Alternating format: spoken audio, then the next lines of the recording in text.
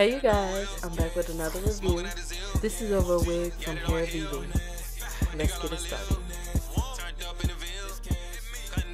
As you can see, I'm just taking out the box. I'm running my fingers through the hair, getting my first impression. I chose to get a wig from Hair Vivi because unlike other companies, this wig comes already pre-bleached with elastic band attached and baby hairs already created for the wig. So the lace does look a little over bleached, but with the tan cap underneath the wig cap, it does not look over bleached like it looks so natural. Included in the box comes two clips, a rat tail comb, your wig cap, and the wig instructions.